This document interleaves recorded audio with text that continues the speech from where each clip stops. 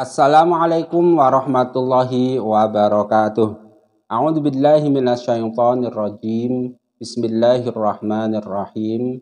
Alhamdulillahi rabbil alamin. Allahumma salli wa sallim ala sayyidina Muhammad wa ala ali sayyidina Muhammad. Amma ba'du. Kaum muslimin rahimakumullah. Marilah kita sama-sama melanjutkan belajar membaca kitab hikam karangan Imam Ibnu Athaillah As-Sakandari. Kali ini kita sampai pada hikmah nomor 128. Pada hikmah nomor 128 ini Imam Ibn Atta'illah As-Sakandari menjelaskan kepada kita alima minka annaka la tasbiru anhu fa ashhadaka ma baroza minhu. Allah itu tahu kamu tidak akan sabar bertemu dengannya. Oleh karena itu Allah menunjukkan sesuatu yang bisa membuat kamu melihatnya walaupun hanya dengan pandangan mata hati. Kaum muslimin rahimakumullah.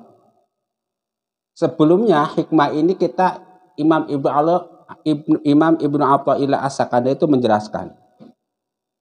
Kalau kita mau melihat mukawanat, mau melihat alam semesta ini, mau memikirkan alam semesta ini, kita pasti akan sampai pada kesimpulan tauhid. Kesimpulan bahwa semuanya atas kudrat iradat Allah. Dengan demikian kita akan menjadi orang yang ma'rifatullah, orang yang mengetahui Allah. Ketika kita sudah ma'rifatullah maka kita akan naik menjadi orang yang mencintai Allah. Kalau kita sudah mencintai Allah akan timbul kerinduan untuk bisa melihat Allah, untuk bisa bertemu Allah. Tetapi sayangnya bertemu Allah secara langsung, melihat Allah secara langsung di alam dunia itu tidak mungkin. Nah, untuk mengobati kerinduan orang-orang yang ma'rifatullah ini, maka Allah itu menunjukkan sifat-sifatnya. Allah bersifat Allah kholik maha pencipta. Lihatlah ciptaan Allah, maka kamu akan bisa melihat Allah meskipun hanya dengan mata. Allah bersifat Ar-Rahman, maka lihatlah orang-orang yang tidak beriman pun Allah kasih rezeki, Allah kasih kasih sayang. Karena Allah bersifat Ar-Rahman. Allah bersifat Ar-Razak. Semua makhluk Allah Allah beri rezeki. Padahal Allah nggak butuh. Kalau kita memberi sesuatu kepada orang lain kan karena kita itu butuh dia. Karena kita itu apa mengharapkan sesuatu. Ini Allah yang nggak membutuhkan makhluk tapi tetap memberi rezeki kepada semua mah. Kita tahu Allah itu Ar-Razak.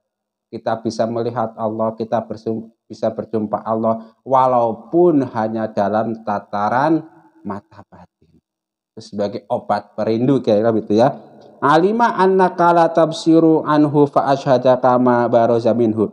Allah itu tahu kalau kamu itu tidak akan sabar untuk berjumpa dengannya. Oleh karena itu fa'asyadaka maka dia menunjukkan kepadamu sesuatu yang bisa terlihat darinya. Apa? Yaitu tadi mukawanat, sifat-sifat Allah di antaranya. Sekarang mari coba kita lihat penjelasan singkat Imam Syarqawi di sini. Alima minka annaka la tasbiru anhu ayangan musyahidatika lahu kama huwa muhib. Allah itu tahu bahwa kami itu tidak akan sabar untuk berjumpa dengannya. Itu ini salah satu sifat orang yang cinta itu kan istilahnya kepengen bertemu dengan yang dicintainya.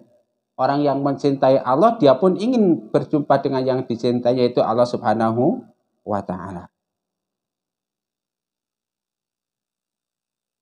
Fa innahu la yasbiru an ru'yati mahbubihi lakin ru'yat Tika bihadihidar min ghairi hijabin ma'zuratun. Nah, tetapi melihat Allah di dunia ini tanpa hijab itu ma'zurah. Nah, hijab yang dimaksud di sini apa? Mukawanat makhluk Allah. Kita hanya bisa melihat Allah Subhanahu wa taala dengan hijab apa? Dengan hijab langit bumi misalnya. Dengan kata lain, kalau kita bisa melihat makhluk Allah dengan mata hati kita, maka kita pun akan melihat Allah dengan mata hati kita. Tapi kalau yang nggak bisa melihat dengan mata hati ya sudah makhluk Allah itu menjadi hijab perantara antara dia dengan Allah. Pak ashadaka ma baroza minhu minal athar. Nah, maka Allah menunjukkan sesuatu bagian dari Allah dalam tanda petik ya. Apa? Yaitu asar Allah, bekas-bekas perbuatan Allah apa? Alam dunia ini. Wal akwan, ciptaan-ciptaannya. Jadi Allah itu maha pemberi rizki arozak. Apa itu ada yang di rezekinya? Ada yang diberi rizki. Ay ashadaka iya halitarahu fiha bi'aini basiratik. Wa in kana tilkal akwan jibatun laka min ruyatika lahu bi'aini baso rika. Meskipun alam semesta ini bisa menjadi hijab antara kita dengan Allah. Faqad ra'aitahu min wara' hijab wa dzalika karamatu minallahi wa ghinayatu minhu bika haitsuram yahjubukanuhu fid dunya aidha. Nah, orang-orang yang bisa melihat kudrat iradat Allah Subhanahu wa taala dengan cara melihat makhluknya itu merupakan suatu anugerah dan karomah dari Allah Subhanahu wa taala kepada orang tersebut. Dengan kata lain begini. Kalau kita sudah ma'rifatullah, maka kita rindu bertemu dengan Allah Subhanahu wa taala. Tetapi serindu apa pun selama kita di dunia tidak akan bisa melihat Allah, tidak akan bisa bertemu dengan Allah. Lalu untuk mengobati kerinduan kita, Allah Subhanahu wa taala itu menunjukkan kepada kita makhluk-makhluknya. Lihat makhluk Allah, maka akan terobati kerinduan kita kepada Allah. Ibarat kita punya pacar, punya kekasih keinginan kita itu kan bertemu setiap hari. Nah, ketika kita nggak bisa bertemu dengan kekasih kita, maka cukuplah kita memandangi fotonya. Foto bukan dia.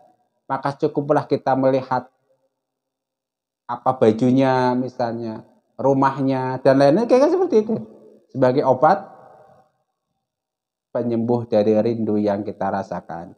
Mudah-mudahan bermanfaat. Jangan lupa like dan subscribe channel ini. Rabbana taqabbal minna innaka antas samiul alim wa tub alaina innaka antat tawwabur rahim. Subhanakallahumma wa bihamdika asyhadu alla ilaha illa anta astaghfiruka wa atubu ilaik wa afa minkum wassalamu alaikum warahmatullahi wabarakatuh.